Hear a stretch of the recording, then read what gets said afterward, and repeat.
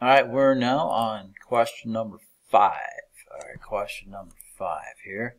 And uh, this is the linear regression problem. Seems like there's always one of those, right?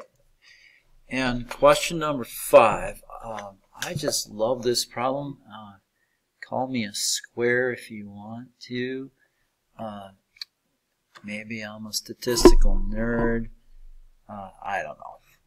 But, uh, what is a square? A square they call somebody who has the same arm span as height. Alright, then you can be some kind of a rectangle. I won't get into that later. if your arm span is greater than your height or less than height, they call you something else.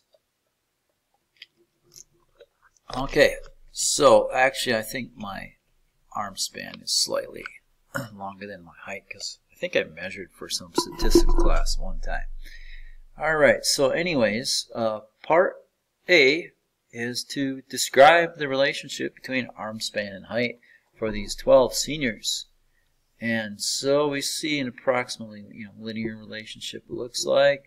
Points would be scattered about a line if we fit a line even though they're not exactly on the line, uh, but maybe not too far from the line. So I said there's a moderately strong positive linear relationship between arm span and height. This is a great review question because you want to get full credit by covering all of those things. Let's look at the rubric here.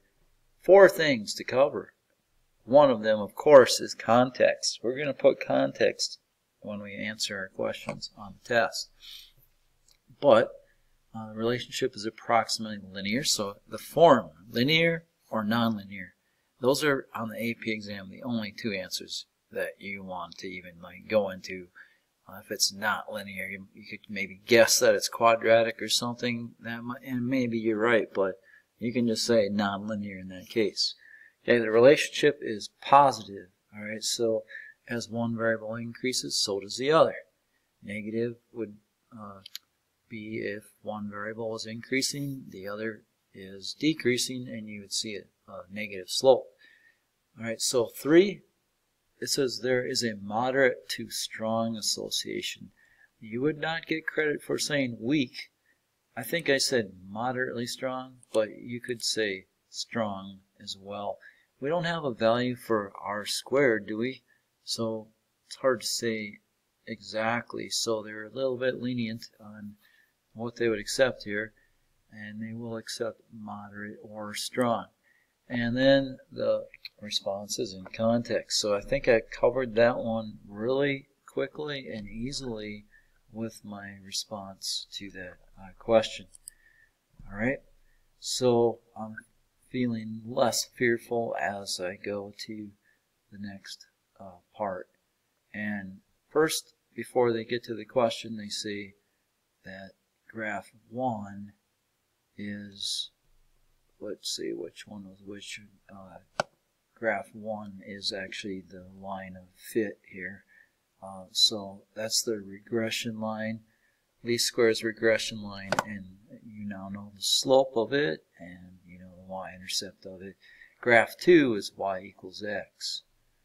Okay, so they're going to define this dot here, and this dot here, and this dot here.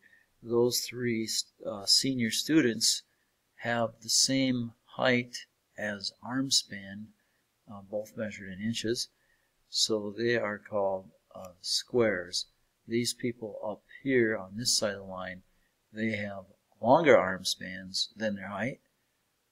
And these people are tall right? Compared to their arm span because their height is greater than their arm span. So we have tall rectangles and short rectangles defined. Tall rectangle is your arm span is less than your height or your height is greater than your arm span. Okay, so we got one, two, three, four that fit the description of a tall rectangle. Ah, now what are you? A tall rectangle, a short rectangle, or a square? Uh, let's see, I think I'm actually a short rectangle. Is that okay to be a short rectangle? Alright, so uh, you actually are asked to fill out the table, how many of each of those are, but first they ask you the question, which one is, which graph is most helpful in deciding if a student is a square, a tall rectangle, or a short rectangle, and I was using graph 2 to describe it uh, because it provides that boundary if you are on the line y equals x, x is height, y is arm span, then you're a square. Alright, so graph 2 is the correct answer for number 1. Uh, you have to do some explaining. I said those along the line y equals x fit the description of a square. Tall rectangles are below the line, short rectangles are above this line. And then for uh, the last part, you had to make, make a prediction. And remember, when you put a hat above the y, that means the predicted value of y, not the actual value of y. Right? The actual value is how high that dot is. The predicted value of y is actually on the line for graph 1 and like this point here has a rather large positive residual because it's above the predicted value. Uh, maybe that's like 66, call it, right? And then 66 would be predicted here. The actual values here, the distance, vertical distance above or below is called a residual and can be a positive or negative residual. Just to review that idea a little bit, um, and so we just have to substitute in 61 uh, to make the predicted value. So I had like 62.05 or wherever you want to round that off here. Um, so, alright, so grading rubric wise, the uh, part B to the grading rubric, the line in graph 2 is selected. I got that right.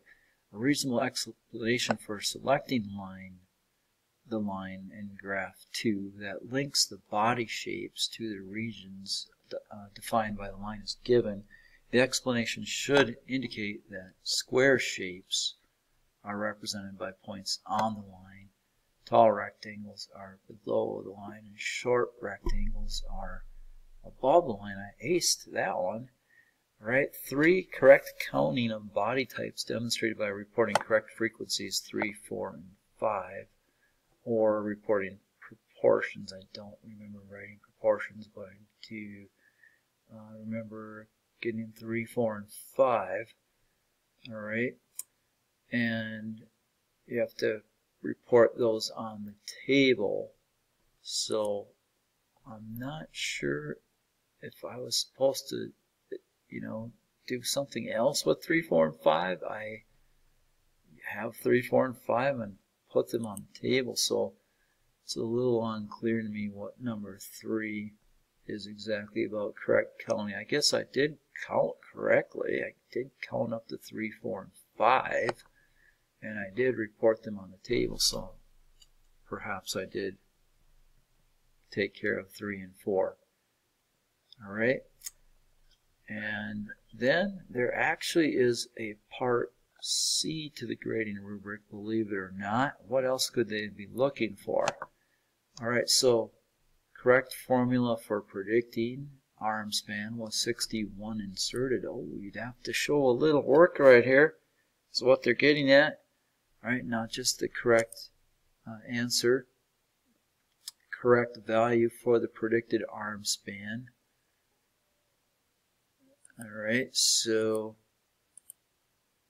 62 uh, point zero, got to round off somewhere, and then units for the predicted arm span given as inches. Units. Did I say inches? Yes, I did. That would really suck to go from a score of 4 for this question to 3 because you didn't put inches. So put the units on your answers for the stats test. Got it? Alright, so hopefully you're out there and tuning into these videos to pick up those tips. All right, any value for the predicted arm span, it says between 61.5 and 62.5 is acceptable. Wow. Maybe somebody isn't using the equation, then maybe they're using the graph to make that estimation. Values outside the interval do not satisfy. So it's component 2. Alright, correct value for the predicted arm span. Or if you're wondering about how accurate to round off, then I guess it doesn't much matter. 62.0 would be fine. There's one more question to go.